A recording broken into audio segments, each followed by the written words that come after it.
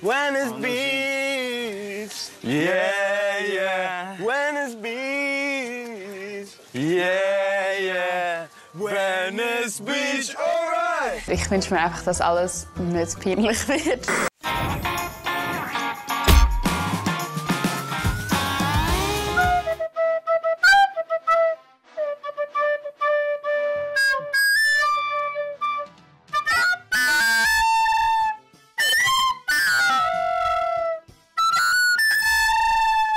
Venice Beach bietet den good-looking Spastis viel, viel Inspiration. Leider. Musik ist etwas Kreatives und da kommt von da oben direkt. Das ist eine Muse, die einem trifft, eine Inspiration, die einem trifft.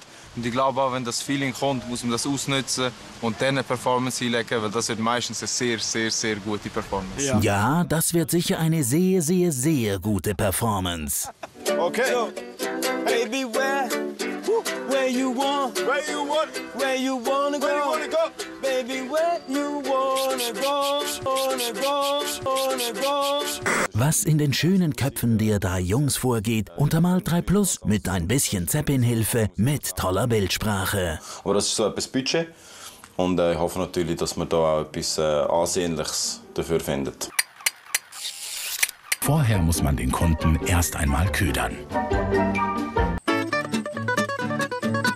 Ja, unsere Maklerin hat uns ja gesagt.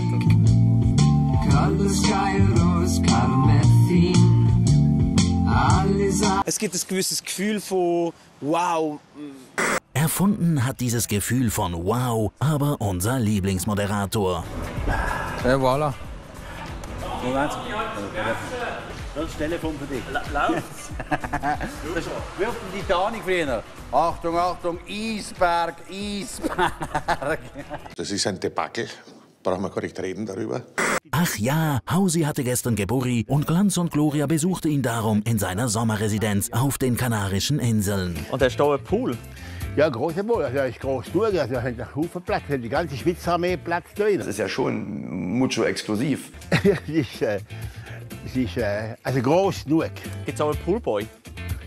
Nein, gibt's nicht. Nein. Wie viel putzt du daheim? Ich putze daheim nicht, ich kann putzen. Der Normalsterbliche kann das nicht begreifen. Ich lasse putzen, ich habe Gärtner dazu. Das ist ganz klar, ich lasse putzen. Wie viel kochst du selber noch? Ich kann nicht kochen. Ich kann zwei Spiegeleier machen, das lange mir. Iconic. Ich lieb's. Oh. Happy Birthday, Hausi. Du bist ein geiler Sieg und vor allem ist der auch ein Gentleman. Mann, dir hat noch gefehlt. Und der Satz, der mir bei ihm immer geblieben ist, du hast immer genug Nötchen im Sack haben, dass du im Zweifelsfall eine Kuh kannst kaufen kannst. Das ist genau die richtige Einstellung. Hey, viel Gesundheit, gute Zeit, Hausi. You fucking rock. Oh, werde spucken.